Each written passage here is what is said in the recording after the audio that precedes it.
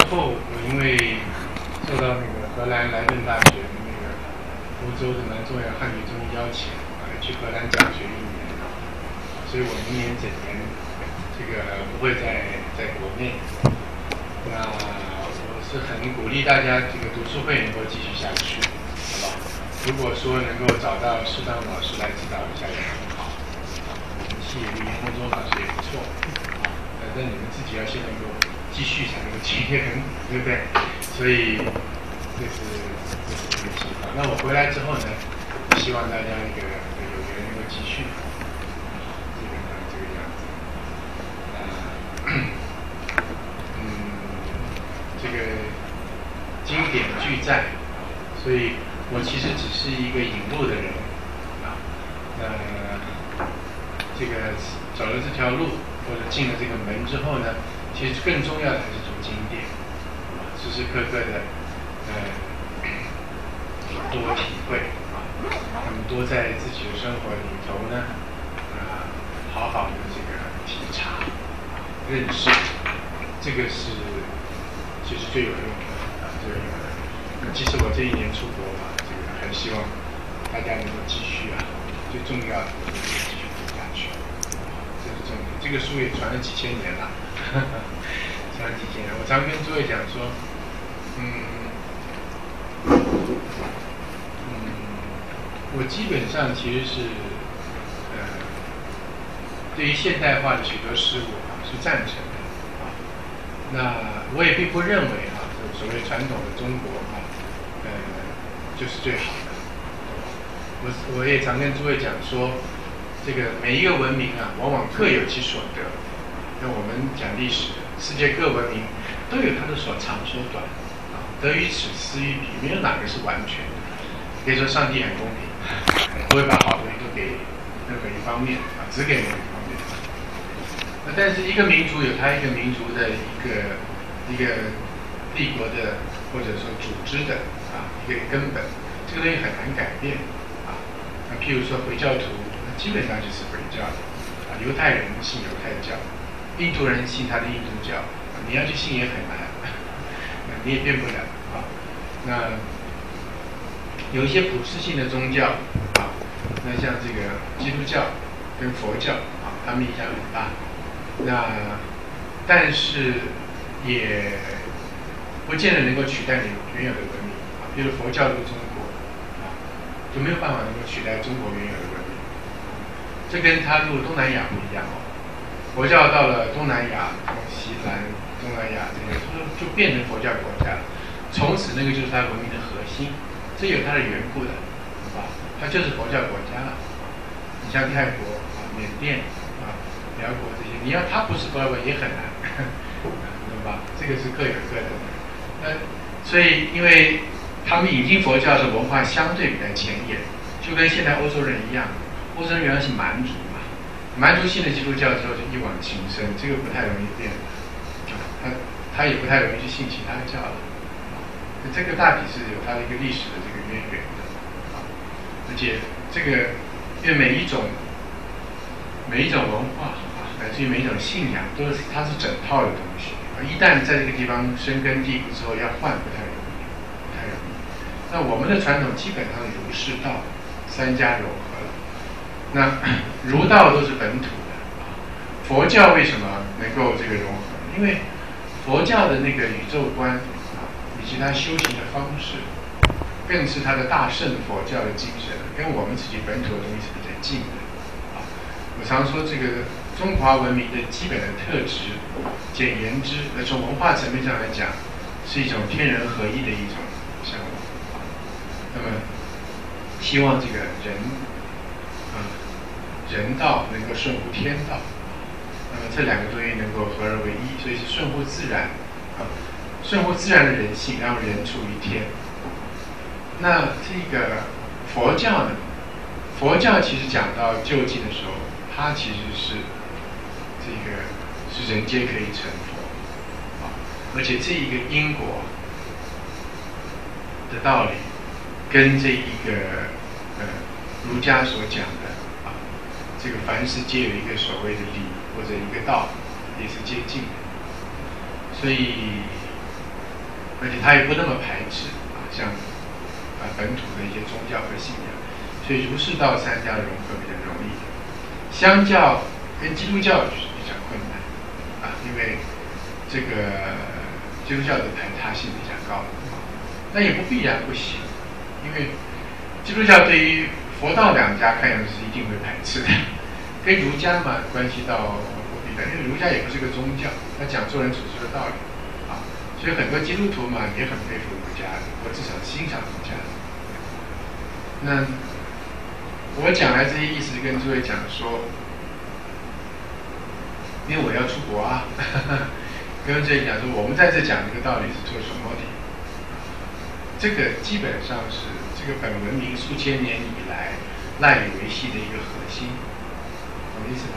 这里头道理很深远，不是一句一两句话能够讲明白的。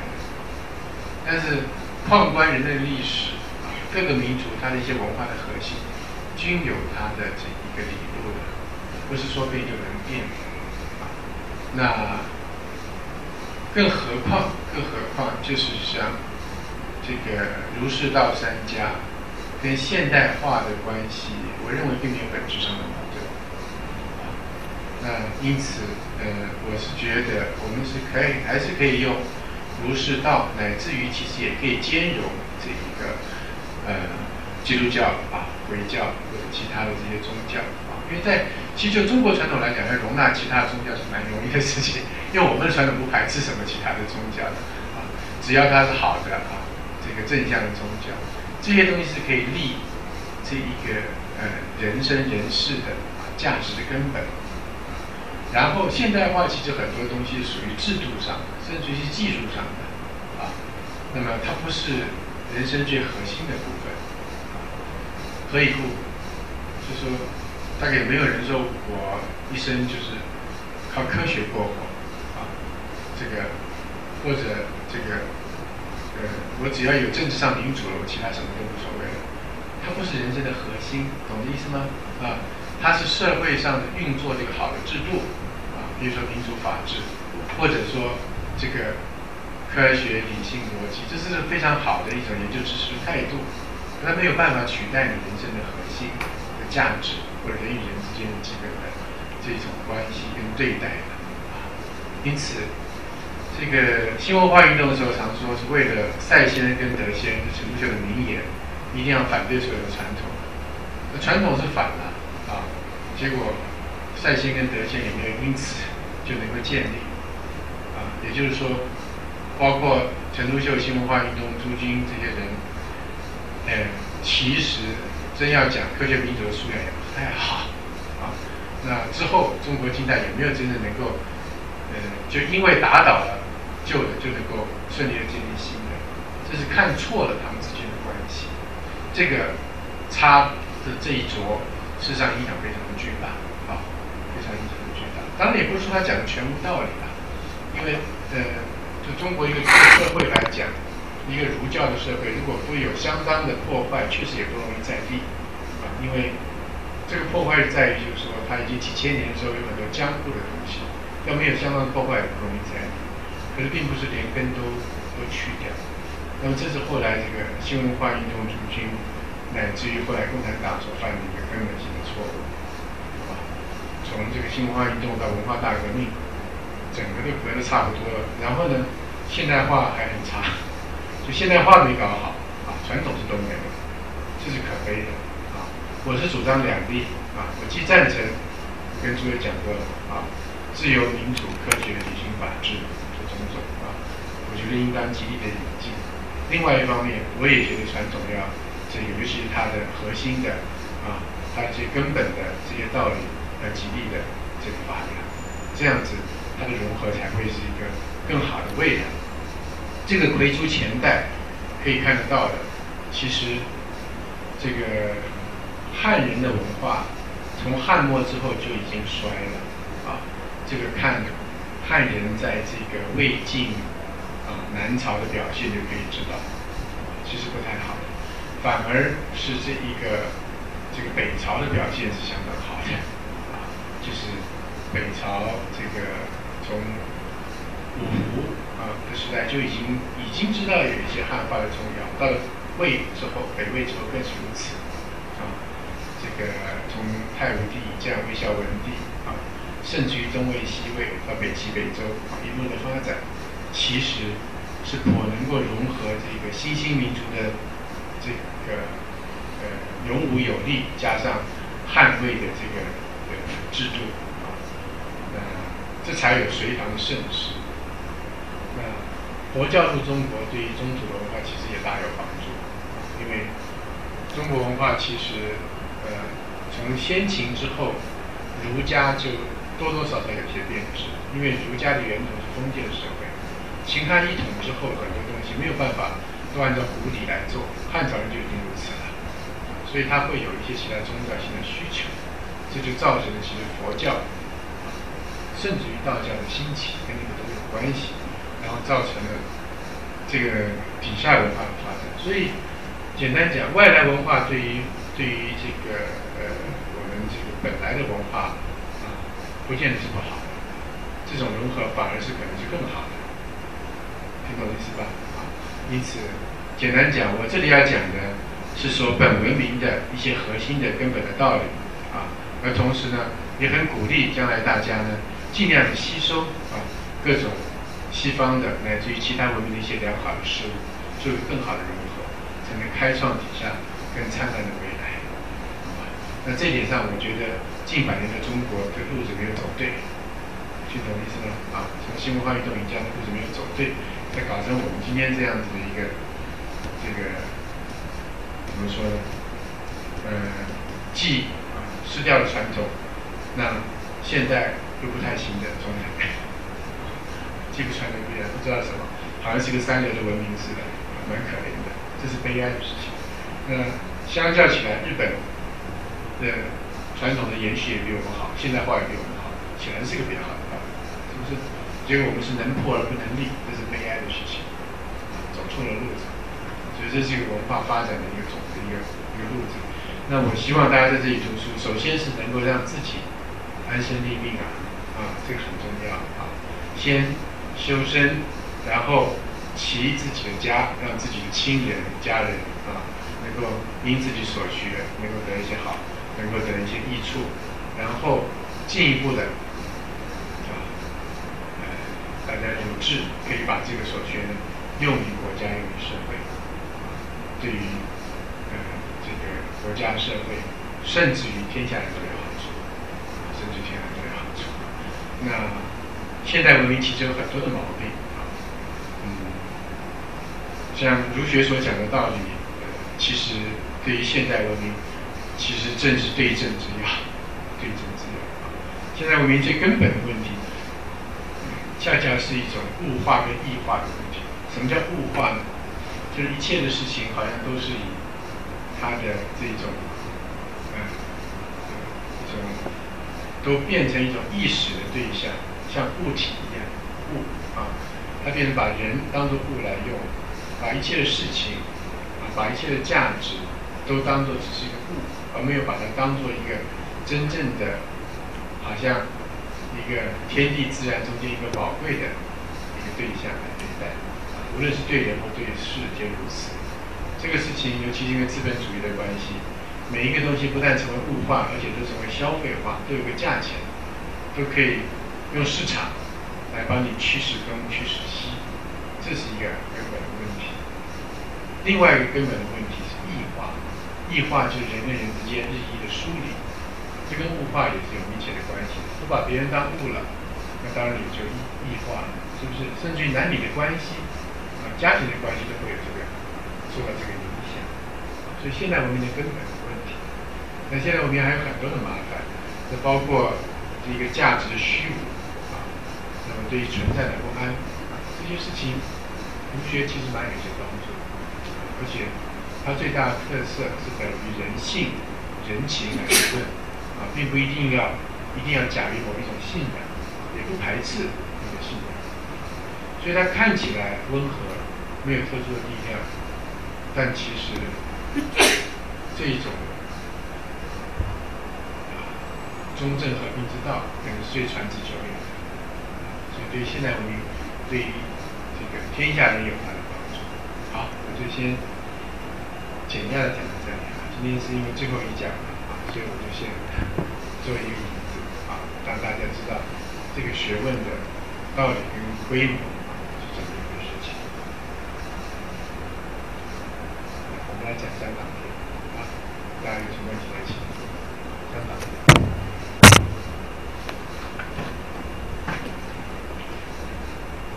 第一章，孔子于乡党，循循如也，是不能言者。哎，其在宗庙朝廷，翩翩言为景耳。乡党是说这个父兄宗族之所在。那么孔子自居啊，如子弟啊，所以呢，这个他是温公信实啊，温良恭俭让。温循循如也啊，温公要信实的啊，就实实在在的在那里啊，温和的、得恭敬的，事不能言者，好像是一个不能说话啊这样，没什么。其实这个父兄宗族在一起，主要其实是是情感，是情感的交流。你不需要讲话很多啊，话多其实。反而这个往往就不利于情感的交流啊，就是大家好好的在一起啊，简单的谈谈一起做一些事情啊，那么像呃呃古人的这一个家族聚会、宗族聚会，甚至乡里聚会，有很多的场合的啊，嗯，这个绝对不是说在那个滔滔不绝的样子，重点是好像重点是。呃，恭谨的体察其他人的这一种心意，真的是要了解。话没有重要，甚至是少一点话是比较好，多一点体会跟了解才。其在宗庙朝廷，偏偏也为今啊，宗庙朝廷这个呃，偏偏。偏偏是说言辩或者闲雅，那么这怎么讲呢？他说话是明白的啊，这一个其实偏通常是能言的意思，辩也能言，那话说的很明白，很清楚，为谨耳啊。那宗庙朝廷是大礼大政所在，有所言不可不明而辩，唯当谨记啊，要谨慎。处理国家是大礼大政啊。应当要谨慎，这是讲孔子在乡党啊，跟在宗庙朝廷啊的一个基本的分别。这可以看得出来，其实孔子是对于周围的环境很有感觉。我们做人做事最怕的一点，就是对于周围环境没感觉，到哪都那样，很多人这个样子，或者感觉迟钝啊，这个事情其实是。很不容易的。你底下看《乡党篇》就记孔子的各种言行举止。孔子是一个对周围环境极有感觉的人，极有反应的人，这个很难啊。这个我们现在一般这个都蛮蛮弱的啊。我自己也觉得我很不很不足，很不行的啊。那我们看这个，我们政府里的人也常常这样啊。像我们就看我们政府的官员出来，我常常觉得也是，哦，对于周围的事情反应极迟钝、极差。所以这对于周围要很有感觉啊，很有反应的。不同的场合，你态度自然有所不同，不是因为要讨好谁，而是因为你对于你你你心中有其他的人，懂吗？就人不同，你的反应当然不同，这才是对的，是不是？啊，这很不容易的事情啊。所以碰到不同的场合、不同的人，那自然有不同的这个应对。好，那么底下讲说，朝与夏大夫言啊，感慨。如也啊，这个与夏大夫交谈的时候，侃侃是何乐啊？因为与夏比你职位低的人谈的时候，他往往会比较怕嘛啊，会这个会太过这个谨慎拘谨。那你是应当如何呢？这个态度是和乐啊，和气又欢乐啊。那不像有的人说是与比你职位低的人呢。颐指气使啊，或者趾高气扬，他是以和乐为主那么对在下的人这样的一个和乐。与上大夫也，盈盈如也。盈盈是中正有正貌，跟职位比你高的人，其实通常最容易犯的毛病就是去讨好他。啊，孔子没有讨好他的样子，反而是中正、中正和平，啊，甚至于有这个这个敬正的啊，正就是呃该讲对的话啊，对对方有所方正。那么与上大夫也应有也，就是在朝的时候，因为这个在朝的时候本来就是讲国家是重要的事情，所以要中正，而且要坚持原则。啊，君在啊，处己如也啊，处己也是恭敬的意思。啊，语语如也，语语是徐徐，谓以中士之貌。单言这一个触及若有不宁，但言语语啊，是近于慢，不和而言之啊。既这一个恭敬，又威仪忠实，触及事实上是带有一种很敬谨。其实不光是恭敬，是敬谨，很谨慎。因为这是呃与君在与国君，或你今天碰到总统，然后你在朝要讲这个国家的事情，当然是要敬谨。不是开玩笑的事情啊，对不对？一句话讲错都会有重要的结果，所以当然是禁忌。语语是徐徐威仪宗师的样子啊，那么是徐徐然啊，也不紧张，但是也不失信啊。那这个就是说心中的一个修养啊，这个不容易啊。我们往往是肉看太多了，我真的是看太多了，就在学校里。碰到职位低的，有人就就姿态大起来了；碰到这个上面的啊，这个什么系主任、院长啊，就就直接姿态就很低下来，讲话就看脸色了啊，看转看看对方。然后碰到军在，碰到那个真正的重要的首长出来的时候，整个都不对了啊，这个不容易的，是吧？是吧？这个内心要有修养，好吧？这是讲孔子啊，嗯。这个有之中啊，心外这个德性。那么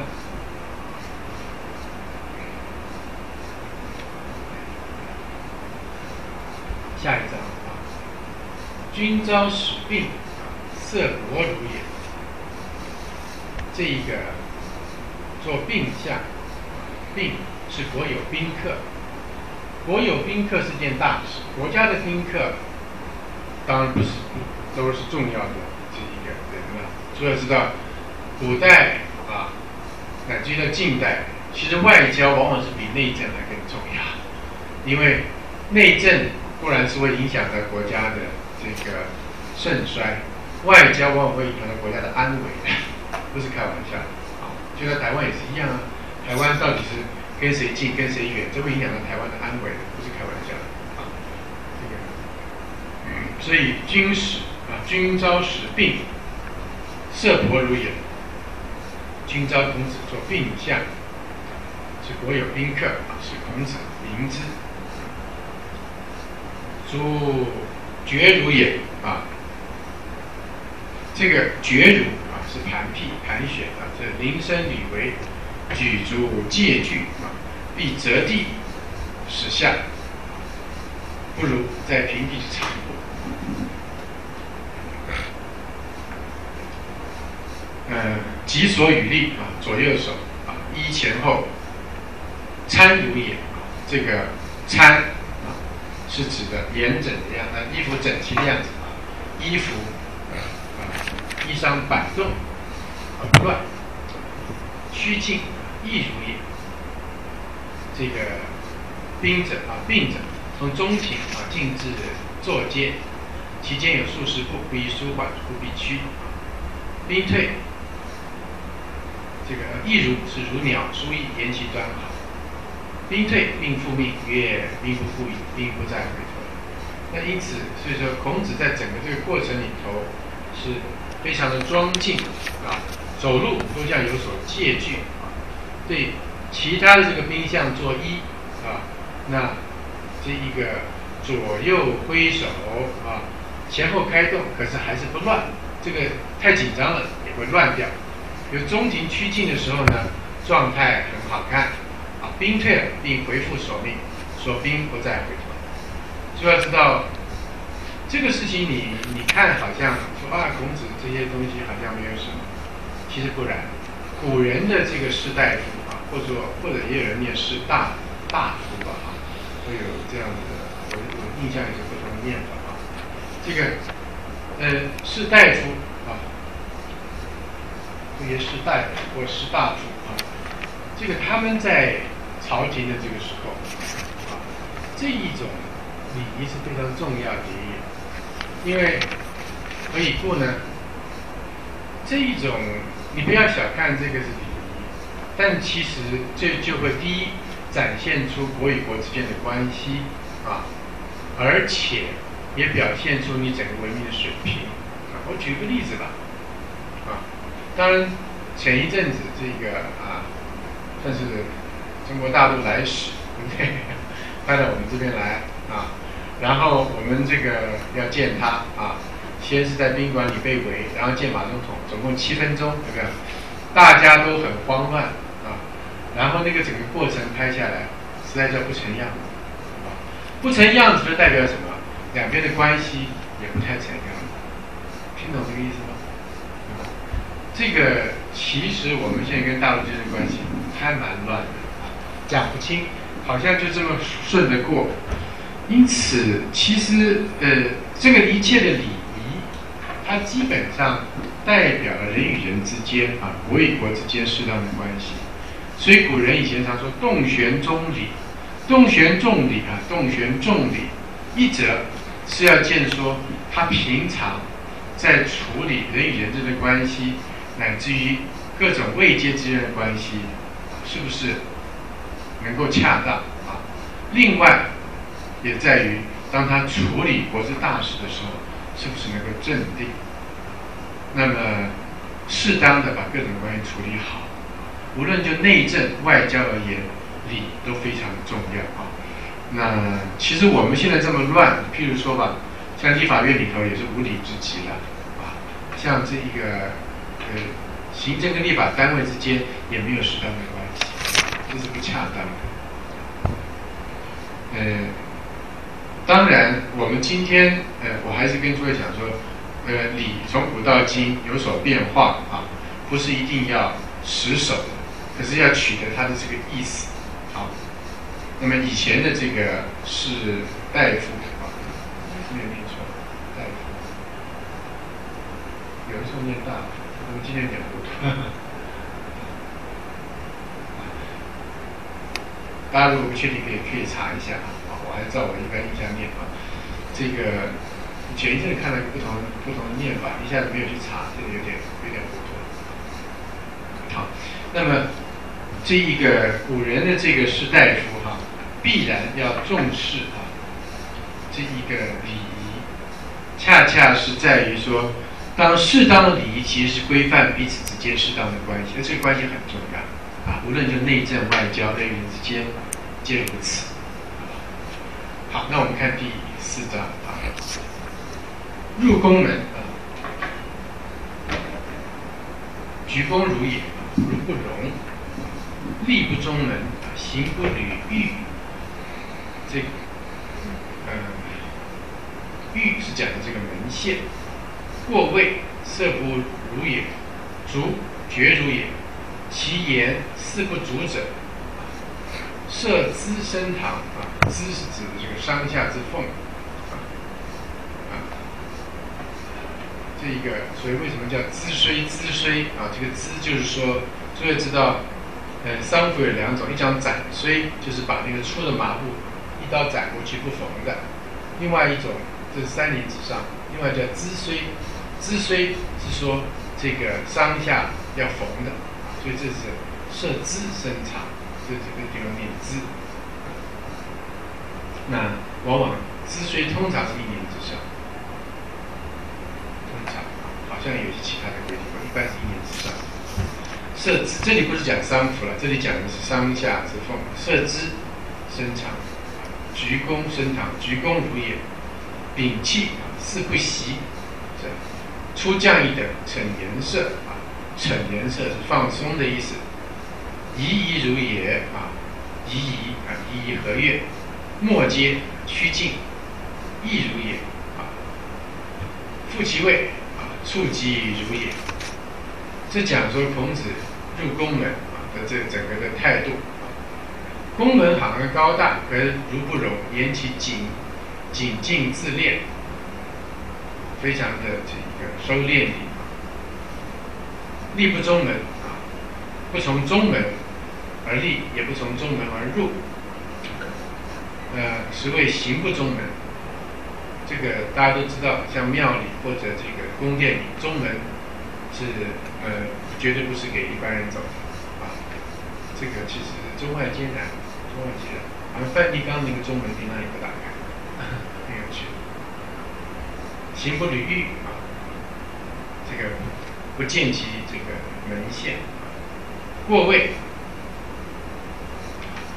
这个御正当入内朝会过这个君平常所坐之位，过位也并进，表示好像对于君主之敬啊。足绝如也，这个。嗯，这个前面看过，色薄如啊，足绝如啊，走路非常谨慎的样子。其言是不足，与同朝者或语不得不应，答而不响，如不足啊。既过位见进君，果然就是这个时候要要如有君在的样子，所以讲话呃如呃呃不是那么放言高论。那么设资升堂，这一个要进入这一个堂啊，这前看，可以它越进来越进紧，懂这意思吧？越进来越近来，鞠躬如也啊，身体也鞠躬，鞠是弯曲，躬是指的身体，鞠躬屏气是不息，好像屏着气像不呼吸一样啊。这它一步一步的越来越进紧，出降一点，慢慢的放松放松放松了啊。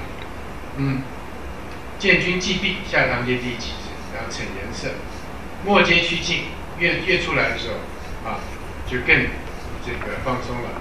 复其位，出入入阶过出入是所过君之位，啊，那么这个又是触及，又是很谨慎。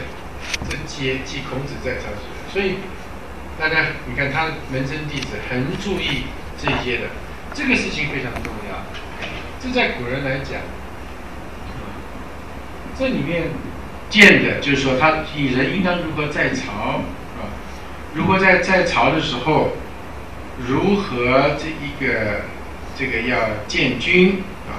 乃至于过君之位应当如何？因为他从外朝进入内朝啊，过君之位，让君之位应当如何？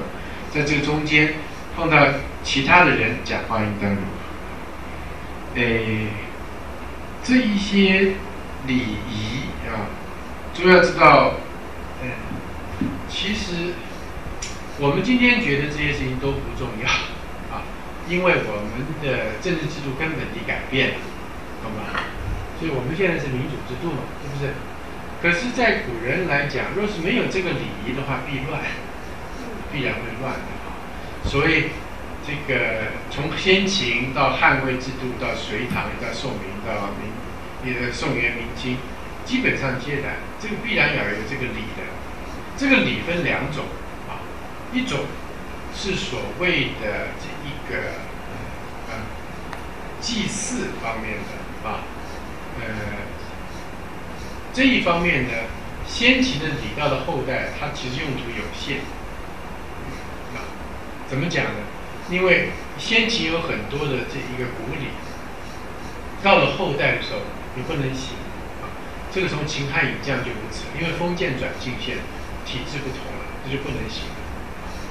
呃，但是它还有一个仪式上的功能，譬如说天子祭天祭地，这还是历代祭很重要。它有一个所谓叫天子嘛，天子它是正统性的问题。另外一部分礼是像这样子的，言行举止。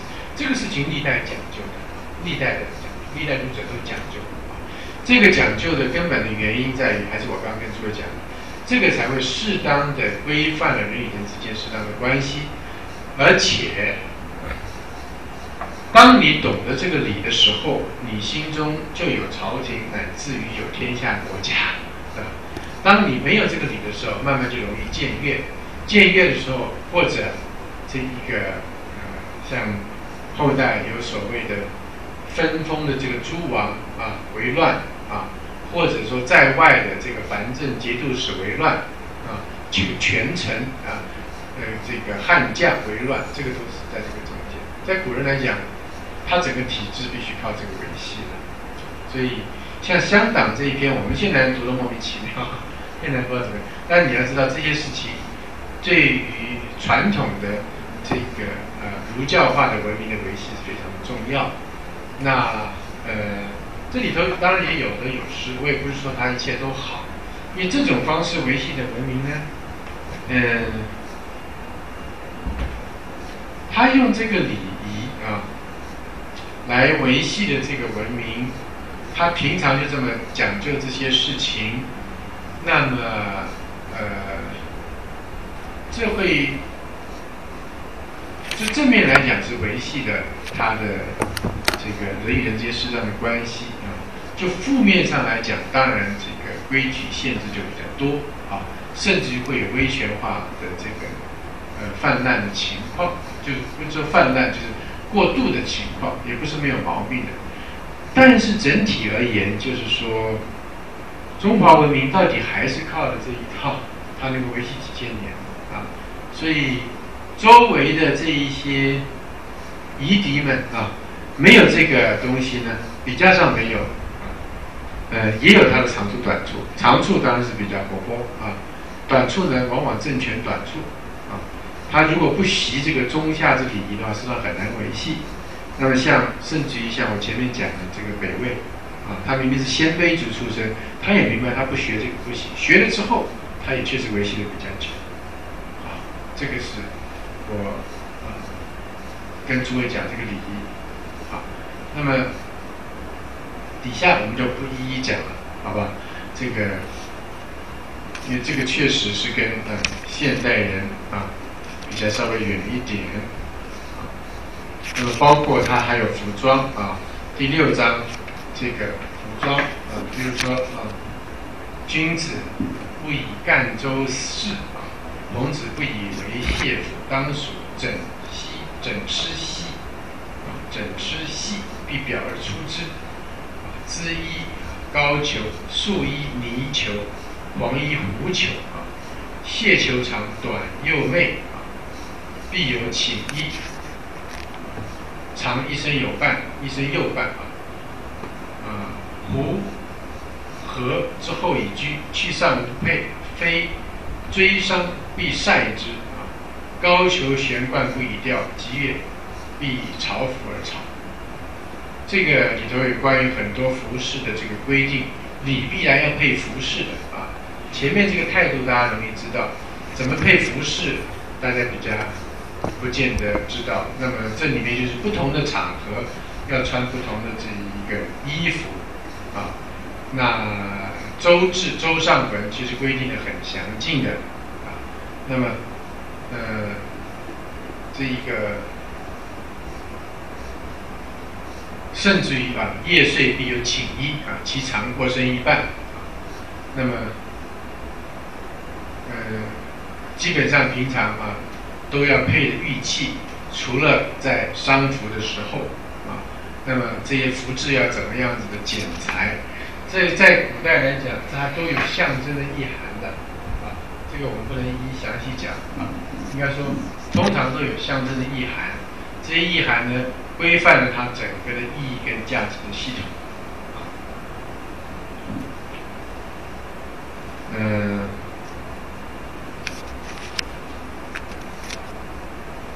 那重点是说不能够穿不恰当的这个衣服啊，呃，可是平常在家居的时候，其实穿的还是舒服的啊，但是各式各样正式的场合该穿什么就穿衣服。这个事情其实也不光中国如此了，大概所有古代的比较是带一些贵族社会的样子啊，皆如此。穿衣服各种场合有不同的讲究。那倒是我们今天比较可怜，是我们不太有自己的衣服，这倒是比较可怜。那那你你这个现代的这些衣服，其实不是按照我们的身材设计的啊。比如说西装，一般大部分的百分之九十以上的华人穿西装都不太好看，身材不对。这个女生也往往有类似的问题。其实很多女生穿穿这个这个，不要说古装了，哈 哈就是说。比较传统的衣服会比较好看，男生男生女生皆然，因为身材不对，基本上差很多的。那以前这个有很多的讲究，这个历代的服装有很多的讲究。那么这里其实也是儒学的一部分啊，诸位要知道。第七章，斋必有名医啊，不，这个这个斋戒的时候一定有特别的寓意啊，这是用布为之的啊，斋必辨识。居必迁坐啊，改变平常时间，改变日常的居住，这也很重要。哎呀，我们现代人其实人生是比较单调的啊，而且也没什么太多这个讲究和规矩的啊，年头到年尾差不多。以前人不同的场合、不同的状况啊，吃的、穿的、用的不一样啊，那。这个事情它有它的一方面它的意义，另一方面它的趣味啊。这个人生因此而会增加很多的意义跟趣味的，这个是，所以我们现在人生也比较单调，意意义说实在的比较比较单薄，啊，以前年中到年尾花样多呢，各种的节庆，各种的这个嗯不同的场合，婚纱喜庆，各种的变化很多的。那么当然，平民没有办法那么讲究，也多少会受点影响。那这个士大夫的这个花样多了，这个讲究很多。那这就讲的是斋戒啊，斋戒的时候，特别的寓意啊，用布为之，这样讲究特别的干净啊。那着之以待深造啊，嗯。这是讲斋戒和斋戒的一些讲究，辨一辨是居于迁坐啊。那古人这个祭祀前必定要斋。那即使孔子是不以惯例乱神，但孔子其实很重视祭祀，祭神如神在。这个这也让其实我们读《香两篇会知道很多古人的生活，也让我们知道说，其实以前的生活有这么很多样的面。这个可以去体会一下，不像我们现在人生，其实真的是单薄。我我看我现看相比一下我自己人生，我每天干嘛？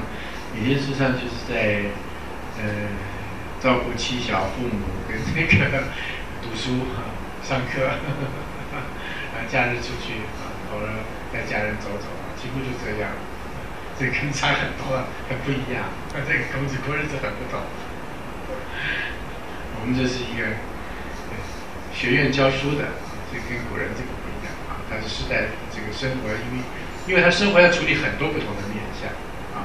那那礼乐射御书数，不同的场合，在逃，在乡党，在家啊，面对，而且他的这个家庭的外面的关系，其实也很，你要说丰富也丰富，就复杂也复杂。对，所以这个人要对很多事情都有感觉，能够随时变化，对不对？啊，那古里有很多的讲究。其实我们现在生活单薄，而且肤浅，现在很肤浅，因为很多东西都是外来的，外来东西又不太明白它的源头。我们学了很多西化东西，学得很肤浅，传统东西也没了，这个人生飘飘荡荡的，听懂意思吗？不太一样啊。读香港非常进一步体会说，他这个人生啊，这样子处处的讲究，所以说我看了都很累。哎，我们的人生其实是。不讲究的同时，也就没什么意思。当然，你不能过度讲究啊，但是呢懂意思吧？不同的场合有它不同的讲究。其实人生啊，还是要讲究，但是不要太复杂。孔子也说：“以约失者，寡矣啊，鲜矣。”他也主张约啊，张与其一言明期，对不对？他与底也不主张繁琐，可是该有的要有啊。我们现在是很多该有的都没有了，很多该有的没有。那怎么办呢？一时不容易解决这个事情，今天还谈不上，到礼乐呢还更谈不上，反而是欧洲人比较的讲究。诸位如果跟欧洲人都接触，就会知道，他们其实这个食衣住行娱乐无不讲究啊，穿着饮食各方面各种场合不同的讲究的很，讲究的很，这是文明。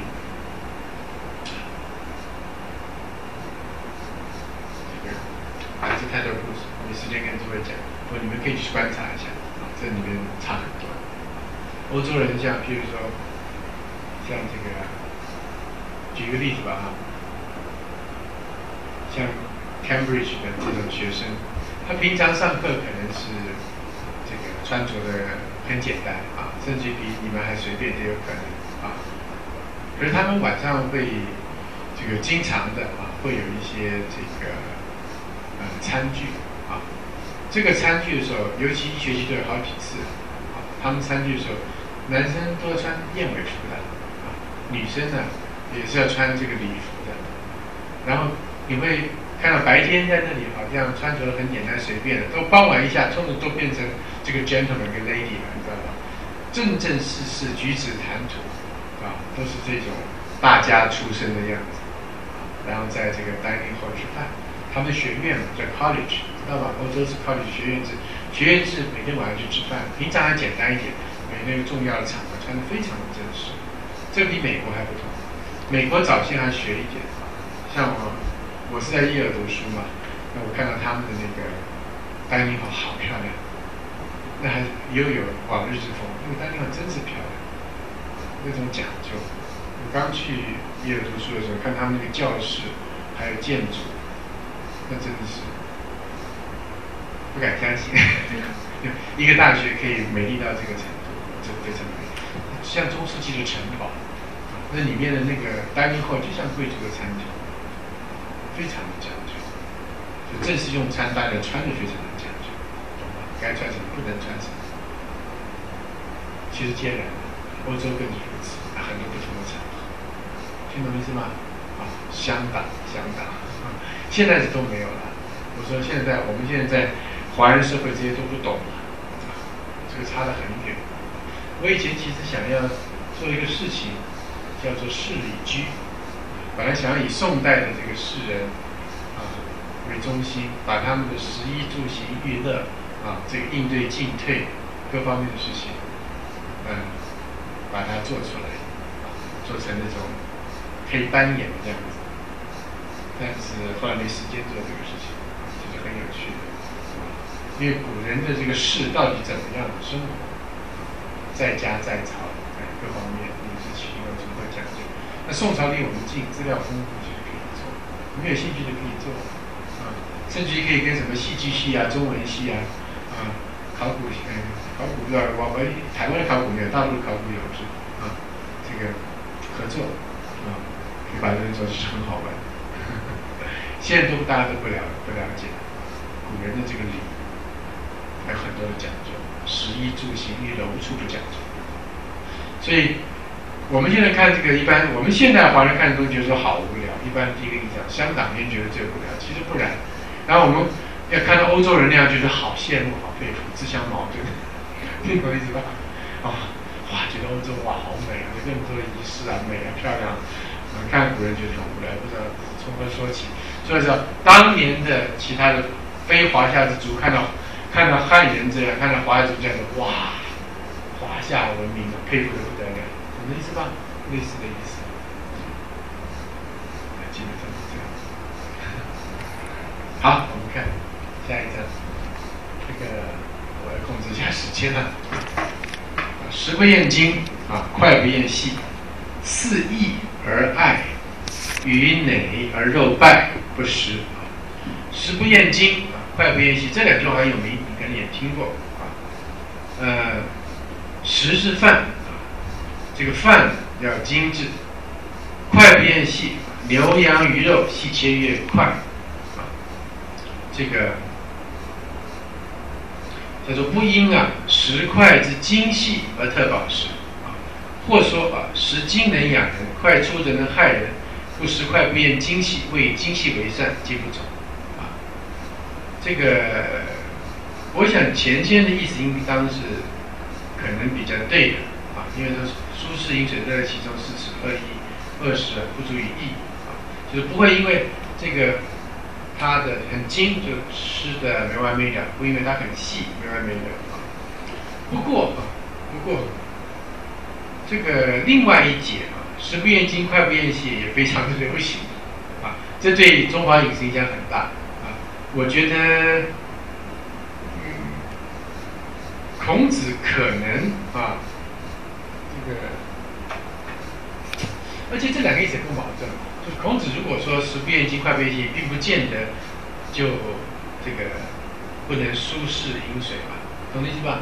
没好没的，他不不去追求，不去不去这个排斥这个舒适或者恶适啊，可是。如果呃能讲究的时候，他也很讲究，啊，也有一说，很多人也取这一节啊，所以我觉得也很难讲，一定怎么样，很难讲。那就食不厌精，脍不厌细。如果取第二一节的话，就是讲究精细的话，这个现在日本人比较做得到。看，你看日本料理怎么样可讲究啊？米啊、精啊、脍。其实我我个人是赞成食不厌精，脍不厌细的，啊。不要太，呃，太过分了啊！不要浪费时间啊，或这些种种。但是如果这个不讲究啊，这个饭不讲究啊，这个其实啊对身体也不太好。这一个快不讲究，这个料理不讲究，其实对身体也不太好。而且，其实生活的品质啊。也有也不也有问题，甚至于呢，甚至于往往会吃太多啊。我们譬如说吧，以台湾为例啊，我们现在的问题恰恰相反嘛，就是因为怎么说呢，修口短袜，吃太多了，吃太多吃的肠胃不好啊，懂吧？其实如果你精细一点，比较容易饱哎。我不知道大家的经验。这个东西好好料理，就是又新鲜又营养，吃少一点就能饱。如果这个东西质地不好，再吃很多，我觉得反而浪费。这样，我跟诸位，食不厌精，快不厌细有两解。前先这里就是说，好像他这个不太不太讲究，不过这个底下全部都是讲究的嘛。底下全部是讲究，肆意而爱啊，与馁而肉败不食。所以第二节。应该说两解都能通吧，两解都能够通，不可能可能结果是讲究的，这个事情我不太敢说，是不厌精，脍不厌细，啊，底下是肆意而爱嘛，这都是讲究的啊，你们看注文都很清楚，啊，我们时间有限，不不一一详细讲了，简单来说，这个，呃，这个馊臭了、腐败了、放太久了，这些都不吃的。啊，对身体不好的，颜色变了，味道味道臭了都不吃的。那么这个，呃，烹调生熟之节不对也不吃啊，时间不对不吃啊，呃，呃，呃，歌不正不食，不得其酱不食啊，啊，这个很有趣。你们看一下注文里面讲，说古人吃饭像像有点像西餐，有点像。底下有注有看到吧？啊，略如今日，它是怎么样的？割肉在于煮啊，时时之切之西餐法啊，割节皆有一定，割不正。譬如你吃西餐，第一也是一样的啊。这个第一不能切乱七八糟，第二一定要切一块吃一块啊。更讲究的，甚至于是叉子在外，刀在内，这就更讲究了。就是刀在内，叉子在外，刀子在外不礼貌，不必不必然每个地方都讲究。但是绝对不是都切了很多块这样吃，一般西餐。古人是怎么样？现在讲不清了。但是割节皆有一定可知的，割不正啊，这个是中西结的。不得其酱啊，也略如今天西餐的方法，它是沾酱吃的啊。这个肉煮的都是比较简单，沾这个酱，不使生四气啊。这个四是指的饭，肉不能吃的超过这个饭。唯酒无量啊。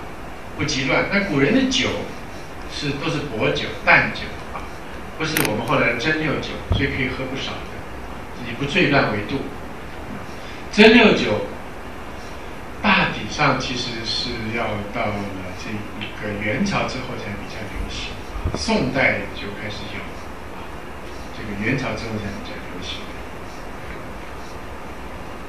那沽酒啊，是补不食啊，怕这个来源不好啊，不测姜食，吃完了留点姜在那里，这个他说很有趣，经饭。或或敬茶或咖啡，不惜不知，不图留浆。看这个，对对，刚吃吃完饭，不什么东西都没有，嘴巴觉得怪怪的，不多食啊，这个但也不多吃啊。忌于公不素肉啊，这个忌肉不出三也，不能这都讲的不能放太久。食不语，寝不言。以前人很讲究这个事情哦，食不语，寝不言啊，因为这样子说。这个容易吃吃不好，吃不用啊，这个确实如此。很多老一辈还讲究，现在是不一定要这么讲究呢。我是觉得寝最好不要言啊，睡前讲话确实不能说。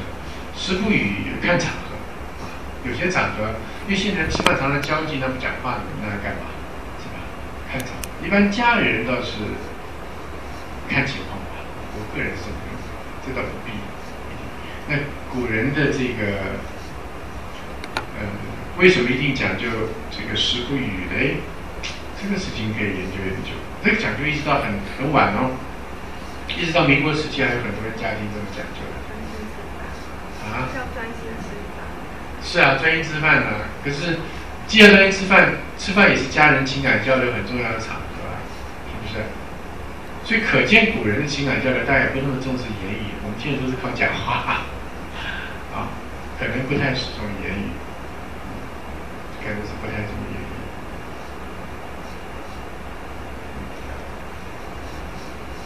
这个事情在想，我也不太敢说啊。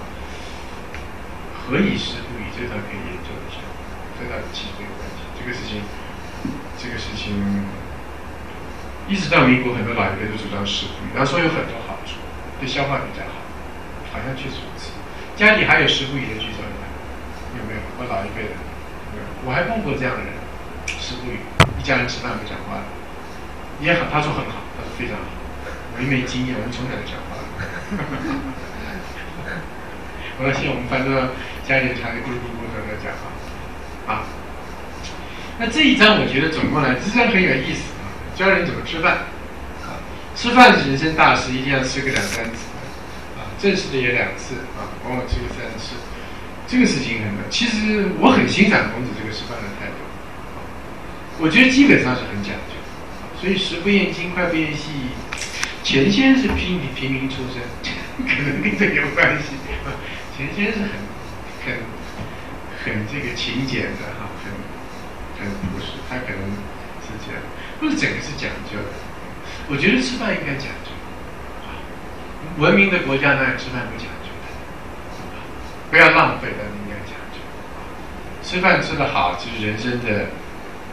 嗯，不仅是一大一大愉快、一大愉悦的事情，而且是其实也是对于这个以前人民的饮食这是必记的，对于生命的一种尊重哎，要怎么讲？不是生命要讲对生活的一种尊重啊。那也就是说，看孔子这么看重。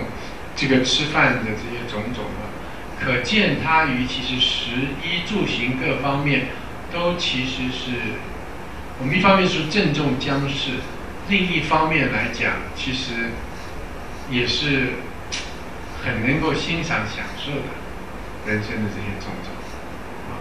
那人生的真真正的具体内涵是什么呢？啊，不是在那里说是一些是外在的成就啊，就是。食衣住行的点点滴滴嘛，是不是？其实我们也不用讲那么复杂了。我们今天大家其实啊，我们说很多人羡慕日本，或羡慕欧美，羡慕什么呢？还不觉得他们食衣住行很讲究、很美、很有味道吗？到法国去就想要坐在外面去跟他这个平常是坐在这个呃路旁边喝两杯酒啊啊，吃点小东西啦，晚上铺上桌巾，点个蜡烛，吃个饭啊。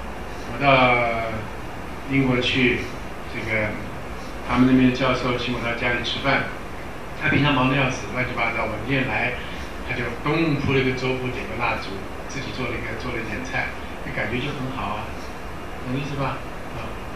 这个要讲究，讲究，但是不要浪费啊，也不要也不要花太多的时间，但是基本上应该是看重吧，看重这些食衣住行，我是很看重食衣住行，这个就是人生的真滋味。简单说，人生真滋味这个地方，席不正不坐，接着前头，所以其实是食衣住行都很注意的。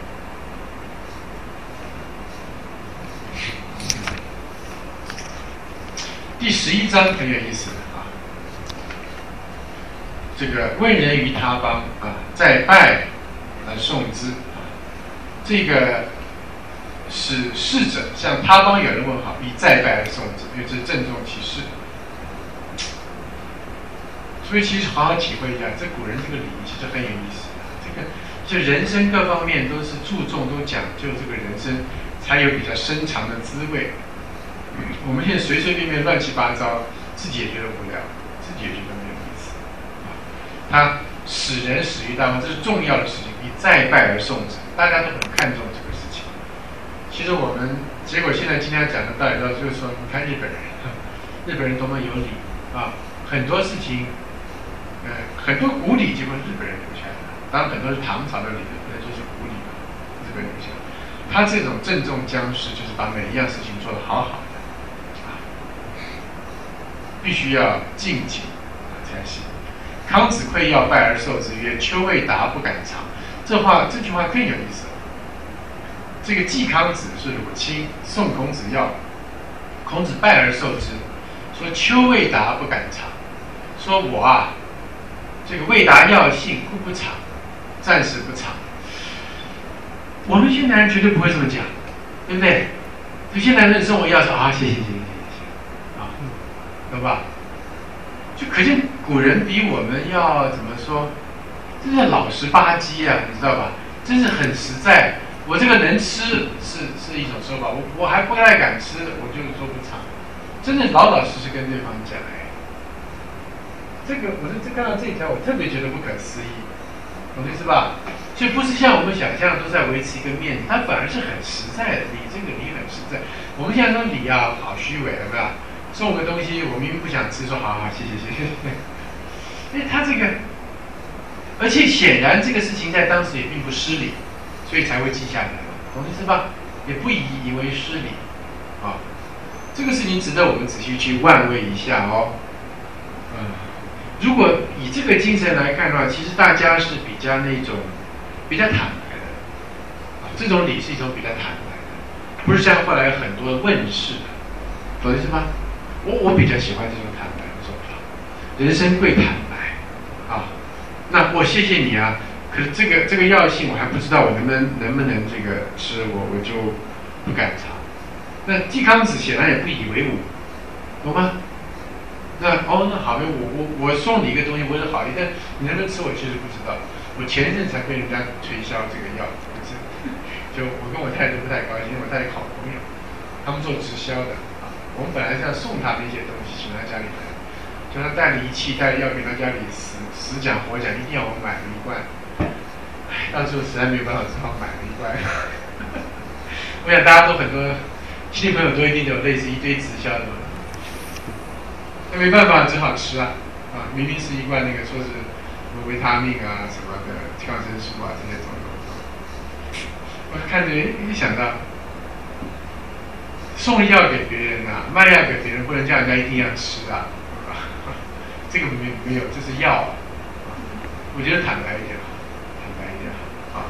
那我那个情况不得不买，有另外原因啊。那是后来是因为，哎，跟我太太是老朋友了，如果不买伤感情，算了算了，花那个钱了啊，也别伤那个感情。那在在在在孔子这个时候，显然没有因为这个而认为是。不伤感情的，这很好。那旧坟子退朝曰：“伤人乎？”啊，不问嘛。这个过程很多人都知道，人当然比较重要。嗯，底下讲是君事时说该如何如何处理，基本上或君这个他生病来世应当如何，这基本上都是对于国君的一种尊敬。下一章应当是重出。那么，呃，不过这边特别记在这个地方，可能啊，前先的意思是说，呃，嗯，这个意思我我看了好几遍，不是太敢确定。我似乎这个意思就是说，放在这里也并不是偶然，啊，放在这里也不是偶然，似乎，呃。一若常有之事，一若常有之事，呃，似乎是说孔子是常入太庙，那么但是未必每次都问呐，啊，但特别附记在这里，似乎是要让这个读者知道啊，说呃礼的这个重要性跟严整性，啊，入太庙每次问。基本上是认为太庙中间现在有很多的礼仪啊是非礼的啊，所以特别的放在香港边，肯定有此有此这个意思。这篇因为放在这里是重出，所以往往有意解啊。那如果说我们假设放在这里是编者是有意的话，那似乎这个意思还是应该让大家注意到孔子入太庙每事问的精神，重视到这个礼啊是应当要尽情而讲究的。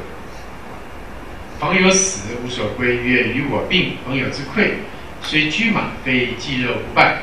啊，这是说孔子对于这一个无亲属可归的这个朋友啊，那么他以谈公篇啊，是说宾客至无所管，这可能是呃这一个远来的啊，非本地的，这样子这些人就是无亲所可归，乃至于无处可居。所以生与我无管，死与我无病。那孔子对于朋友是非常够朋友了，简单说啊，这个尤其古代的商品可复杂了，啊，这个功夫可大。朋友之馈，虽居马，非肌肉不败啊，这个是有个分寸的，除非是肌肉，否则不败。再贵重的礼物也不败。当然收有收的礼，但是不到用败的吧？败者过之了。请不失，居不容啊！见资衰者，虽瑕必变啊！请不失啊！这个睡觉的时候啊，不是像这个像死人一样四肢这样挺直的那样，是应当有适当的这一个舒卷的啊！大家也不用太担心，其实你你不要那么刻意的这样的话，也不至于搞得像死人一样，不至于的啊。对，但是呃，请不失啊！居不容啊，居家的时候呢，不为仪容啊，伸伸腰腰啊，不是说要那个，呃，要要特别的这个，好像呃，这个仪容要梳妆这些种种，就是以自然为主啊。见姿衰者，虽瑕必变，虽然是平素亲密亲密的人啊，他这个是姿衰啊，姿衰也算是重上。所以啊，一年或者一年以上啊，也算是重伤。所以，如果我没有记错，应该也有资衰三年，有斩衰三年是最重的，其次是资衰三年啊，然后到资衰到一年。如果我没有记错，好像还有一年五个月，有好几等，有很还有很多种的轻等，所以资衰以上都算重伤。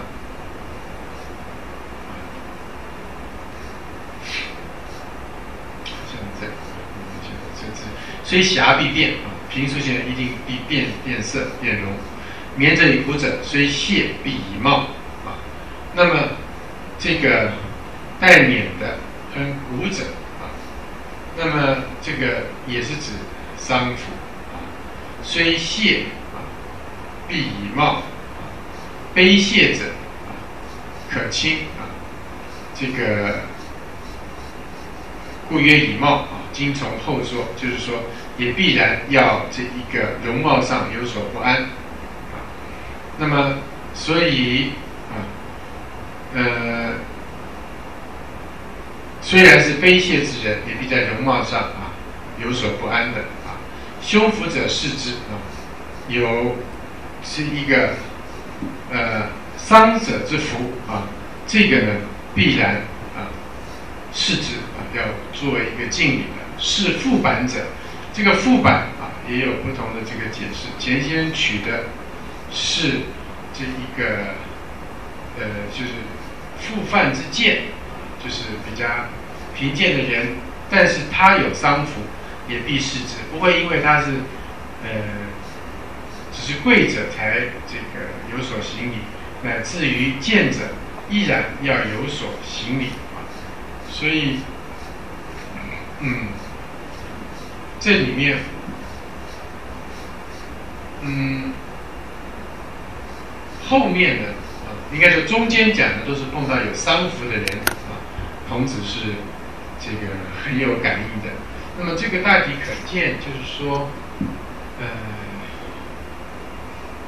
我还是刚刚讲的，孔子对于别人的这一个遭遇啊，或者忧戚是颇有感觉的啊，颇有反应的。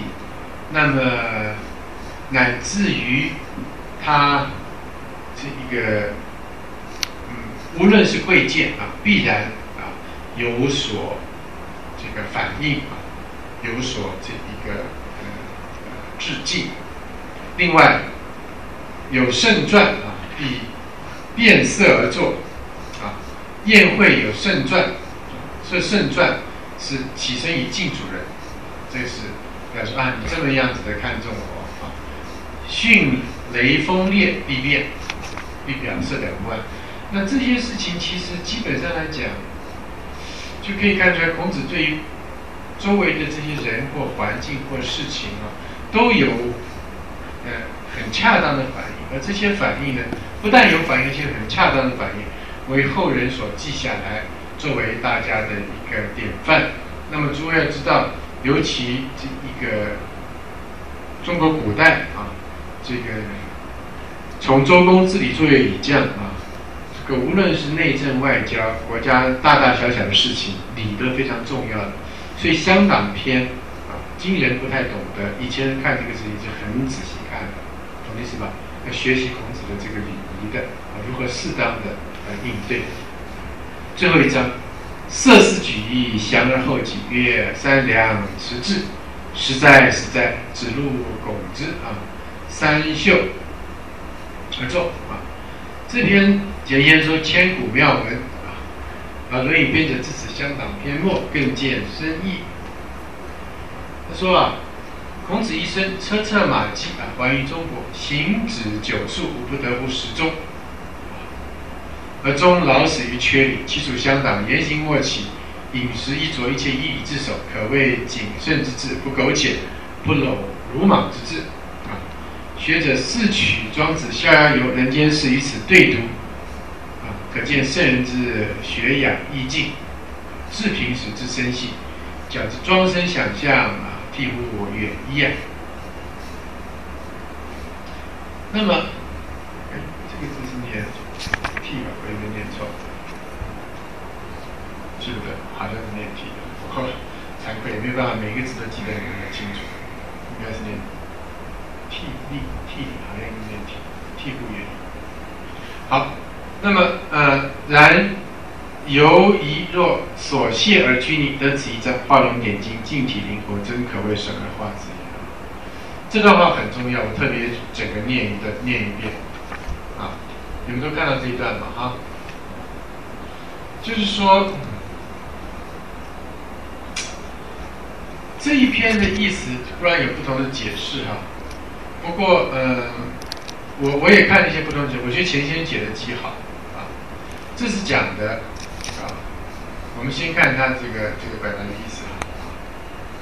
色是举一啊，讲这个鸟见人颜色不善啊，就举身就飞走。翔而后己，啊，飞了几圈啊，才重新这个集于目上。那么也三两辞志啊，实在实在，说连这个鸟啊都知道要见时而作啊。那么指路拱之啊，于是指路前一进进人做建议，三秀而作，他好像被植物吓到了，然后就飞出去啊，秀啊，本作秀，当时回头看，回头看了三次啊啊，或者说鸟惊是不必然的回头了，应当躲在回头，飞上去，啊，看了三下，那是什么意思呢？基本上的意思就是说啊，孔子如前言这里所讲的，一生以礼自守。谨慎之至，可是这个谨慎呢，啊，它是有它背后的一种这个因时而作啊，他是呃，举这个以鸟为例，对吧？鸟看到了，哎，原来它有所反应，是不是？所以孔子对于这一切事情呢，事实上是一种。因为对于事情有一个敏锐的感觉，啊，而有各式各样子的这个反应，啊，而这一章也把孔子的这一个好像碰到的事情自然有所反应的那个精神点出来，而不是像我们所想象的，就相反，你会觉得是很拘谨的，是吧。所以为什么说千古妙文？就是前面好像是都是谨慎，谨慎的不得了，做琐屑而拘泥。可是这一章呢，画龙点睛啊，静体灵活，神而化之，神而化之在什么地方呢？就是在实在实在，对吧？像鸟一样这样，灵活有反应的，听懂意思吗？所以这一篇作为香党篇的最后一篇，这个实在是啊，编者的高明。